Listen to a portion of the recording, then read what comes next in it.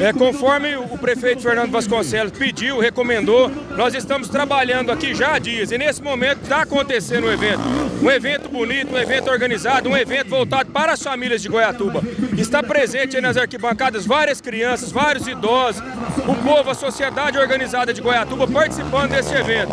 É um evento que foi feito, realizado totalmente para as famílias e sucesso total. O resultado está aí sentado na arquibancada, milhares e milhares de pessoas por volta de todo o lago aqui, a festa muito bonita. Goiatuba, eu tenho dito, a cidade de vida nova, começando aí 2014, uma forma muito especial, onde comemorando aí este aniversário de 83 anos de emancipação política administrativa, aqui juntamente com o nosso representante, deputado Álvaro Guimarães, toda a vida presente em Goiatuba, na, nos momentos importantes de Goiatuba e nos momentos difíceis também, juntamente com toda essa população maravilhosa de Goiatuba, e eu tenho certeza vários de cidades vizinhas aqui hoje prestigiando né, esta bonita festa para a nossa gente, para Goiatuba. Então, muito bom isso, muito gratificante, nos motiva a continuar este caminho que eu tenho dito sempre, é um grande desafio, mas muito importante, pois a, a causa é nobre,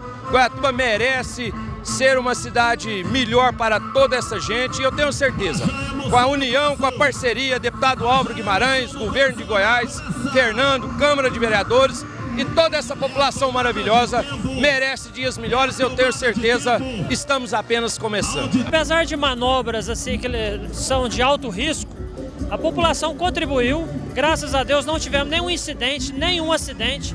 E é isso que a PM espera, que o pessoal seja consciente para que se evite acidentes. E graças a Deus correu tudo dentro da normalidade. Última volta agora, os corredores já estão por aí, o diretor de provas já está aqui.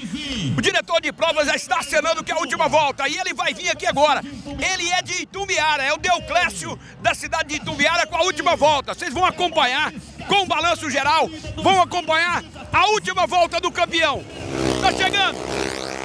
Vem o campeão agora para a última volta. Ele é daí, é de Itumbiara. Olha ele aí.